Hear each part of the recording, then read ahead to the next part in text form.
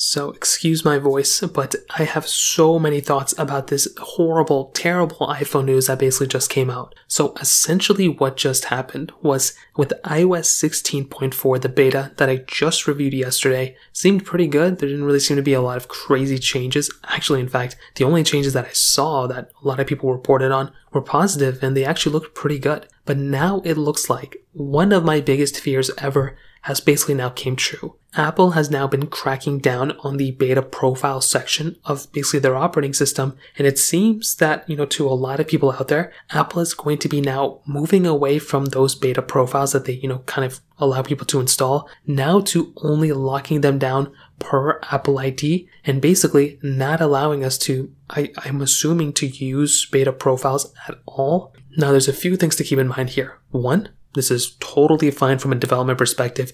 Public betas are still going to be available. So even if you don't want to, you know, if you're afraid of the betas not being there when you want to install them, you can always install the public betas. Those are, I think, still going to be free, hopefully, unless Apple changes something there too. But this is my main concern. This was the only way we could install third party applications not too long ago. For the last bit of time, I've kind of been out of it. I haven't really been installing third party apps on my iPhones, really only on my Androids now. But now that Apple has moved away from this, this kind of showcases to me one of two things. One, either Apple is going to now wake up randomly and going to allow us to install third party apps. But two, which is more likely, Apple is going to crack down even harder and not allow us to install third party applications on our iPhone which is weird. They allow us to install third party apps on our MacBooks.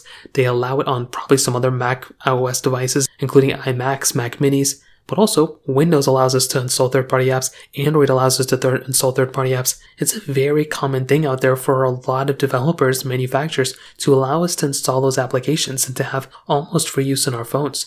If Apple allows us to install apps on our Mac OS machines, what is the problem with them installing, allowing us to do it on our iOS devices? It's the same Apple company, it's the same type of product. Does Apple think we're going to, is Apple allowing us to install malware and viruses on our Macs? Well, why doesn't Apple tighten that down? They know if they do that, there's going to be an uproar. So in my opinion, this is just another step in Apple kind of tightening things for no reason, making more rules for no reason at all, if this is truly what it is. Now, if this is only particularly for the beta profiles, then that's totally fine. I don't really think anybody's really going to care too much because you can still install the public betas. But if they are not allowing us to even have this workaround of installing beta profiles of different applications and whatnot, I feel like Apple's taking a step in the wrong direction and they need to focus more onto how they can, you know, make more money in other ways outside of iOS rather than tightening us down inside of our own ecosystem. So I'd love to hear your thoughts about this. Let me know in the comment section below. Hit the like button, that mean so much, but definitely hit that subscribe button. More importantly than everything else, I love every single one of you guys. Hopefully I'll catch you guys in the next video.